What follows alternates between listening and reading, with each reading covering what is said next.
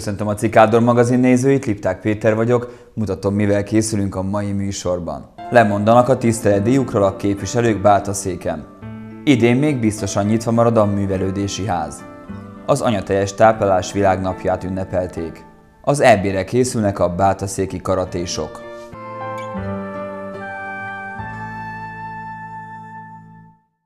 Változik a könyvtár, az óvoda és a közös önkormányzati hivatal nyitva tartása, lesz városi karácsonyfa, a képviselők lemondtak hátralévő tiszteletdíjukról.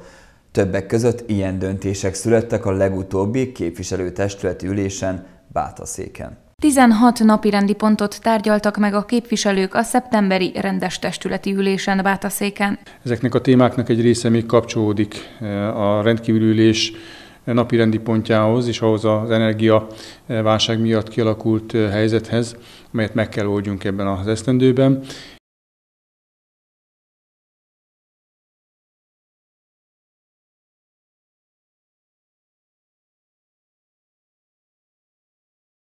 Megtárgyaltuk az első fél éves gazdálkodásról szóló beszámolót, ahol azt tudtuk megállapítani a szakmai anyag tartalmából, hogy a költségvetési rendeletünket időarányosan tudtuk az első fél évben teljesíteni, bevételi oldalon 50%-ot egy kicsit meghaladó mértékben sikerült a bevételeinket teljesíteni, kiadási oldalon meg 42%-kal teljesítettünk, tehát likviditási problémáink nem voltak, és hát igyekszünk a költségvetés sarokszámait betartva racionálisan gazdálkodni itt 2022-ben.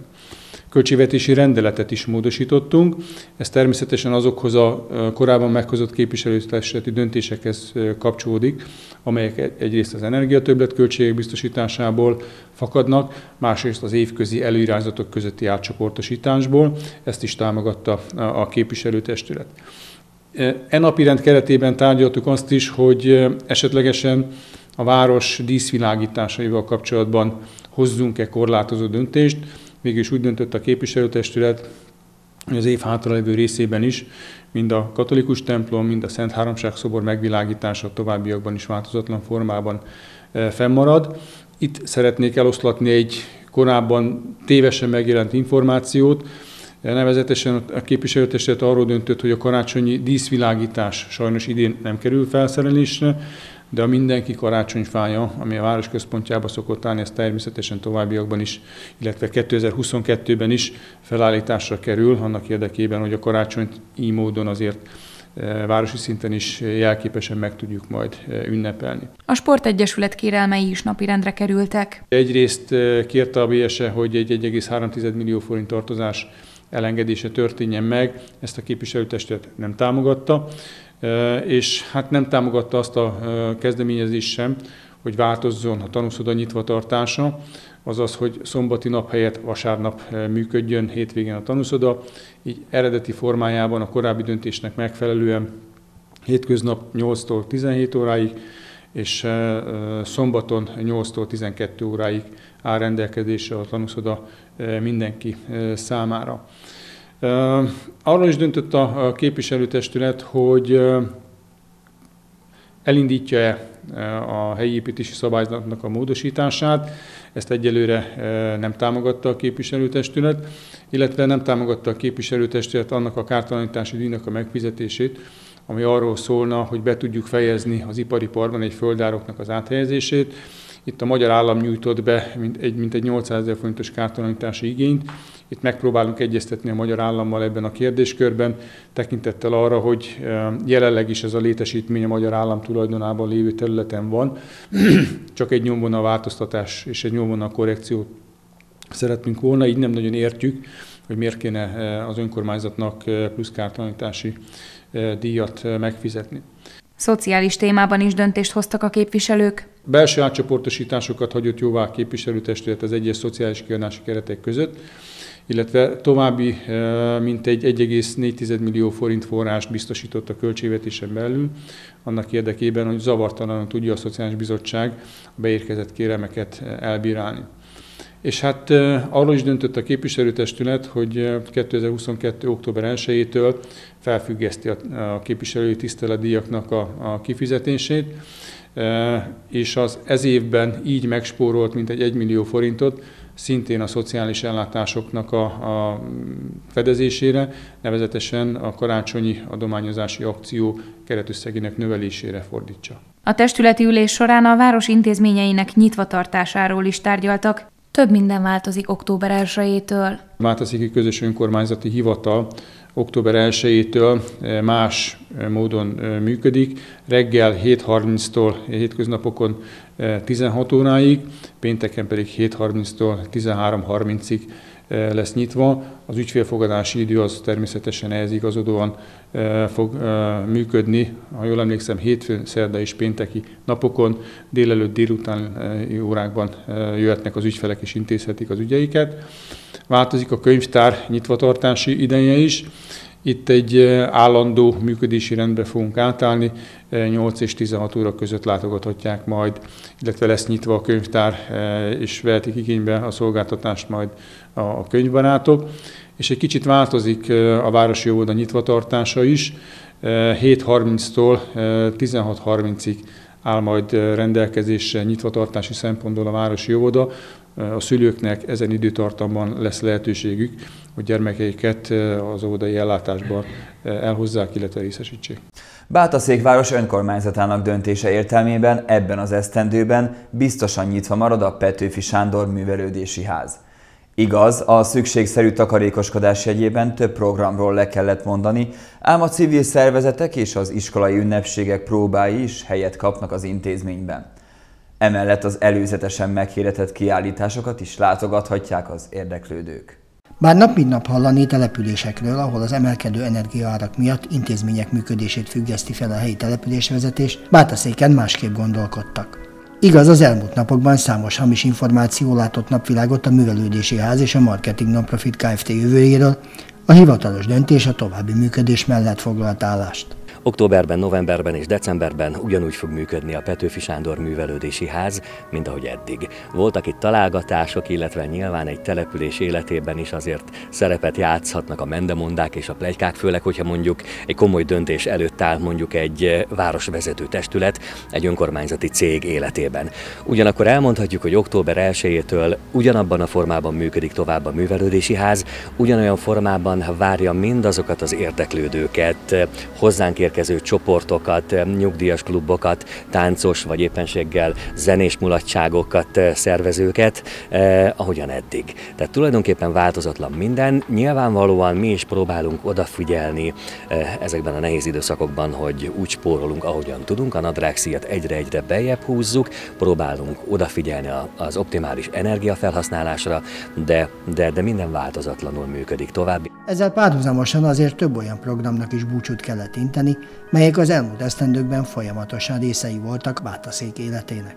Ugyanakkor két kiemelt programra lesz forrása a szervezőknek. Az október 1-én hagyományosan megtartott idősek világnapi rendezvényünk is már elmaradt. Ugyanakkor a 70 éven felüliek karácsonya nem marad el, ezt szervezzük, és minden érdeklődőt sok szeretettel várunk majdan az iskola tornacsarnokában. Erről a rendezvényről ugye tudni kell, hogy közel 400 szépkorút vendégül látunk valamilyen kis műsorral is, ajándékkal, valamint vacsorával kedveskedünk. Ezen felül a képviselő dönté- testület döntésének megfelelően a, a Bátaszéki Advent rendezvényét is meg tudjuk tartani. A többi nagyobb rendezvény az elmarad, illetve hát el kell mondanom, hogy ugyanúgy tarthatók bálok, ugyanúgy tarthatók karácsonyi ünnepélyek, ugyanúgy megtartható az október 23-a, ugyanúgy lesznek kvízbajnokságaink, és hál' Istennek most már hétvégén tudtam mérni azoknak a partnereknek, akik várták az üzeneteimet a kiállítás szervezéssel és rendezéssel kapcsolatban, úgyhogy elmondhatom, hogy a következő két hónapban Székely Lázár bátaszéki fafaragó kiállítását nézhetik meg a Petőfi Sándor művelődési házban, és Szijjártóné Terike foltvarró munkái is kiállításra kerülnek nálunk a házban. A Marketing Nonprofit Kft-ről szólva Csötönyi László azt mondta, egyelőre tovább folytatják a munkát. Az önkormányzat pedig az év végén az éves szakmai munka beszámolóját követően dönthet majd arról, továbbra is életben tartja-e a Város Gazdasági Társaságát. Az anyateljes táplálás világnapját ünnepelték Bátaszéken. A 75 meghívott gyermek és szüleik a helyi tánccsoportok bemutatóit nézhették meg, de egy előadás is meghallgathattak Kun Attila szülésznőgyógyásztól az anyatej fontosságáról és jótékony hatásairól.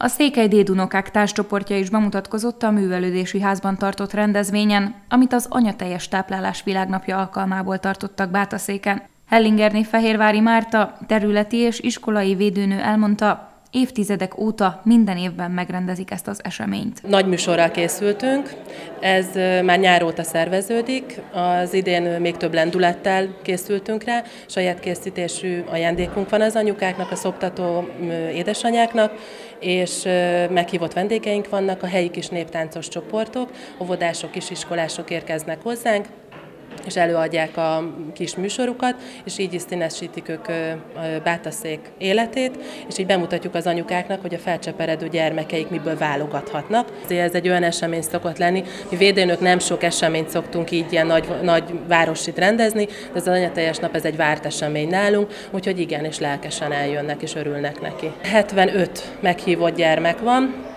családdal, édesanyával, nagypapával, akit ugye hoznak. Most a betegségek miatt kevesebben jöttek el, úgyhogy jelenleg olyan 30 gyermek van itt a szülőkkel, valamint a fellépők. Mindenki szeretné a gyermekének a legjobbat megadni. Ugye tudjuk, hogy az anyatej nagyon fontos a, a fejlődésünk miatt, és akkor mi védőnök pedig próbáljuk ezt preferálni, hogy elsősorban ugye az anyatej a legfontosabb és a legjobb táplálék a gyermeknek. Wettstein Ildikó a szerencsésebb anyák közé sorolja magát, hiszen mindhárom gyermekét tudta anyatejjel táplálni. Van három gyermekem, egy 12 éves, egy 4 és fél éves és egy 1 éves, három hónapos. Mind a hármójukat tudtam hála az égnek szoptatni. A 12 évesemet 8 hónapig, a 4 és fél évesemet 9 hónapig, és őt meg 10 hónapig. Természetes. Tehát szerintem ez a legfontosabb, hogy természetes. Elég sok problémát hallok így, akiknek, akik nem tudnak, vagy nem tudnak szoptatni, ugye, hogy például a, a, tehát a tápokat nem fogadják úgy a gyerekeknek a szervezetük, tehát van, amikor már az ötödik tápot próbálják, és még az sem sikerül. Nagyon jó, hogy ugye itt van a doktor úr is, és mindig tájékoztat minket, és mindig újra elmondja ezeket a fontos dolgokat a szoptatással kapcsolatban. Az is fontos, hogy fölhívják a figyelmet rá azért, tehát jó, hogy van ez a rendezvény, mert így, így, így azért fölhívják a figyelmet a, ennek a fontosságára. Az esemény meghívott előadója dr. Kun Attila szülésznőgyógyász volt, aki elmondta, az anyatej nem csak táplálék, hanem az első számú védelmi vonala a gyerekeknek. Anyatej, élet, erő, egészség, és ez nagyon, de nagyon fontos az újszülöttek számára, hiszen a legoptimálisabb tápanyagot tartalmazza, és nem csak mint fehérje, szénhidrát, zsírként kell nézni, hanem az anyatej az sokkal komplexebb összetételű, tele van ellenanyaggal, tele van sejtes védekező rendszerrel is, és ami átjut az újszülöttbe, és ezért szokták mondani, hogy az anyatej az első védőoltás, és ezt nem szabad kihagyni, és itt van nagyon nagy jelentősége az aranyórának, az első órának, amikor már megpróbálják az anyukát a, hoz, hozni a újszülöttet, és lehet látni, hogy már itt az első percektől kezdve nagyon jó kapcsolat tud kialakulni anya és gyermek között, az anyatej az a szellemi fejlődéshez, meg az érzelmi fejlődéshez is nagyon nagy jelentőségű, hiszen kimutatták, hogy azok a gyermekek, amelyeket szoptattak, tehát intelligenciájuk is sokkal, de sokkal jobb. Többen vannak azonban, akiknek nem indul meg, vagy hamar elapad a teje, így kénytelenek a tápszerhez nyúlni. Kunatilla azt is elmondta, mit lehet tenni a megfelelő tejmennyiség termelődéséhez.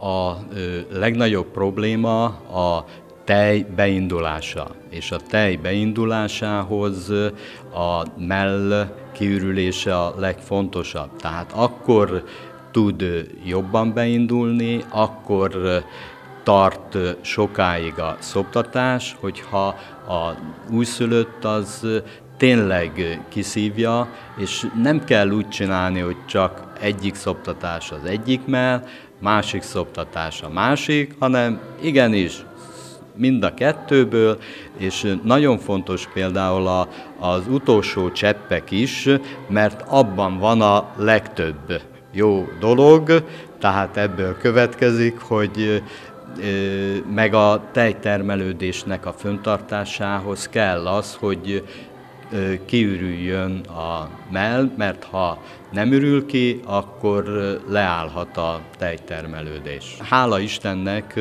azt lehet mondani, hogy a, mind az újszülött osztály, mind a magyar hungarikumnak nevezhető védőnő hálózat nagyon nagy segítséget nyújt a szoptatásba, és a statisztikai adatokat nézve Tolna megye, tehát Dél-Dunántúl elég jó helyen áll a szoptatásban, hiszen a WHO-nak is a célja az, hogy minden újszülöttet fél éves korig csak kimondottan anyatejjel tápláljanak, és azt is lehet mondani, hogy az anyatej bizonyított, hogy az bőven elég, nem kell pótolni se forralt vízzel, se tejával, mert az anyatejben minden benne van.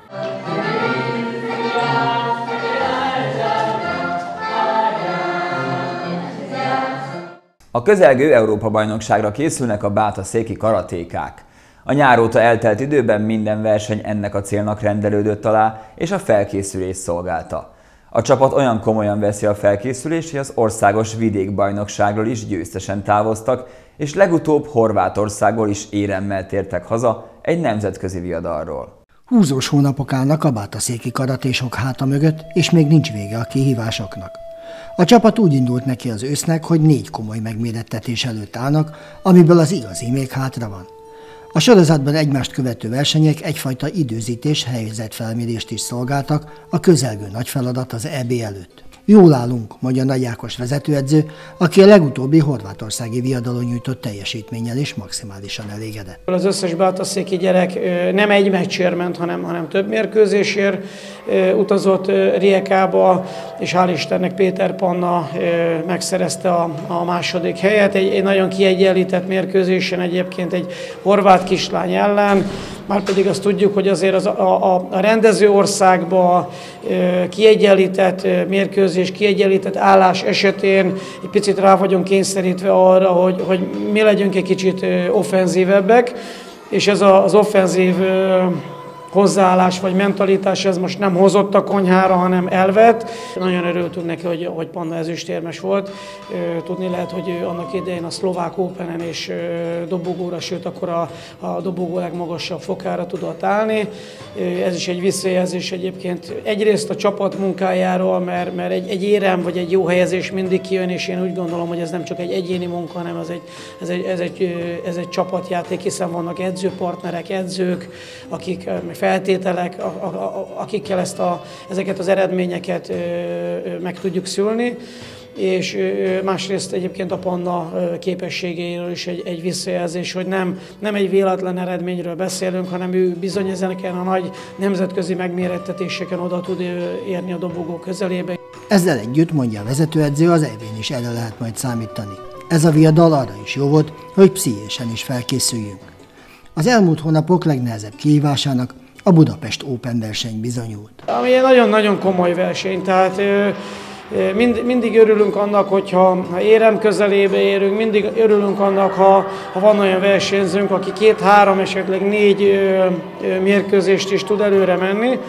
Itt azért voltak gondjaink, tehát sokkal könnyebb helyzetben vagyunk, hogyha én a környező országból érkez, érkezőkkel vagy a, határmenti versenyzőkkel mérkőzünk, mert azokat egy kicsit jobban sikerül megismerni, és, és taktikailag jobban fel tudjuk építeni ellenük a küzdelmet, de Budapest Open, ahol görögök, franciák, esetleg Európán kívüli országok vannak, ott azért mindig vannak ilyen vakfoltok, ahol, a, a, a, akik vagy amik meglepetést tudnak egyébként okozni nekünk és hát sajnos lecsúsztunk a, a, az éremről, Hefner Zsófi volt egyébként a legközelebb az érem szerzéshez. Nyilván mi levonjuk ilyenkor a konzekvenciákat, hogy mi az, amin javulni kell. Én azt gondolom, hogy a Budapest Open alapvetően egy-egy olyan, olyan ö, figyelemkoncentrációs hiba becsúszott, ami, ami miatt egy-egy mérkőzésünk egyébként elúszott. Ez nagyon fontos felkészülési állomásod, mert ez volt az igazi visszajelzés arról, hogy hol tartunk. Időközben a csapat címvédőként érkezett, és úgy is távozott a Magyar Vidékbajnokságról is, ami egyértelművé tette a karate sporton belül Báltaszék az ország legeredményesebb és legerősebb csapata a vidéki egyesületek rangsorában. A figyelem most már a közelgő Európa-bajnokságra összpontosul. Nem korlátlan a nevezési létszám, tehát nem klubok neveznek, hanem nemzeti válogatottak, és a nemzeti válogatottakból a, a legerősebb három az, aki, aki kiállhat a, a, a versenyre, és ebből a szempontból egy picit szűrt.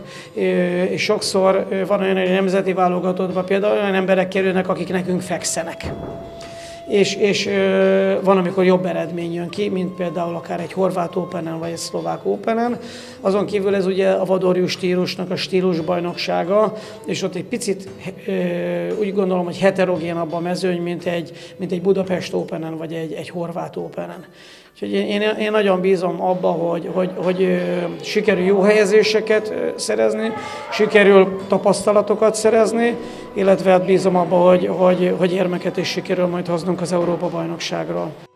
Köszönöm megtisztelő figyelmüket, viszontlátásra!